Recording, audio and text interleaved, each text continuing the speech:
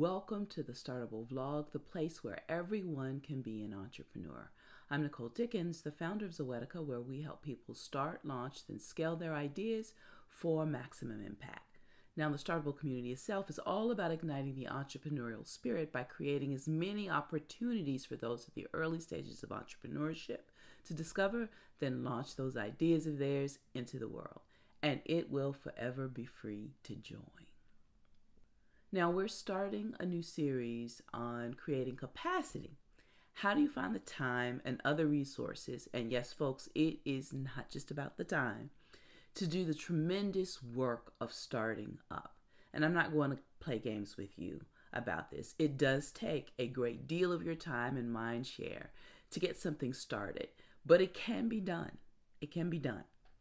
Anything and everything is actually startable. As I've shared before, starting up doesn't mean you necessarily have a success story on your hand immediately. And to be honest, that's rarely the case. It just means you've gotten started, basically. You should be pivoting several times in the process to move towards that emanation that would be success. But pivot and move you must. But how do you create capacity to even get started, to even begin? First, let's quickly define the term capacity. Basically, it's the amount that something can produce, simply put. It is indeed a production term. And as organic entities or human beings, we have the ability to actually increase and decrease our capacity at will, unlike inanimate objects. I mean, a box can only hold up to its area, yes? It's not to get much more um, in it than what it can actually hold. But if I increase my caloric intake, like I have during this pandemic, without also increase, increasing my um, energy output, my physical shape will increase to uh, store the new fat cells I've just created because I am an organic being. But the kind of capacity I'm referring to here is the ability to create and build something new, different, or just better than what's already out there. It includes time, but it's not restricted to just time. There are other resources needed as well to get started, like Mindshare. What are you able to mentally devote to creating, solving, and building out this idea of yours? Relationships. Who can support you in the development process? Where do you need to be supported?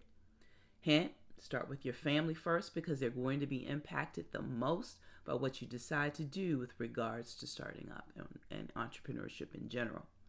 Include them from the get go. Word to the wise. But there are other relationships you must also consider, and we'll talk about them in more detail as well in this series.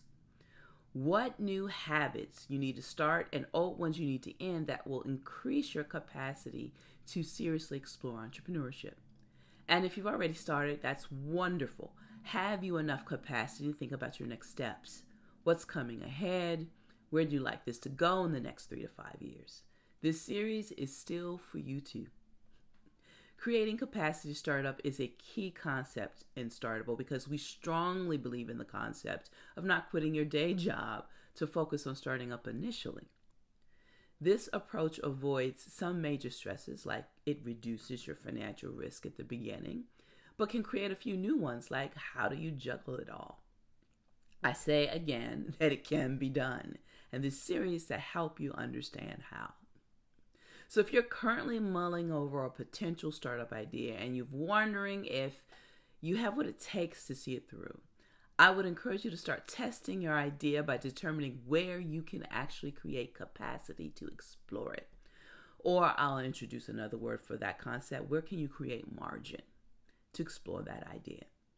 And Startable is the place to help you do this as we exist to encourage early stage entrepreneurs in exploring their ideas for viability and impact. So go ahead and get started on that idea by answering the capacity question. Where's the first place you need to look? The first thing you need to do to increase your capacity for even exploring your idea. See you next time.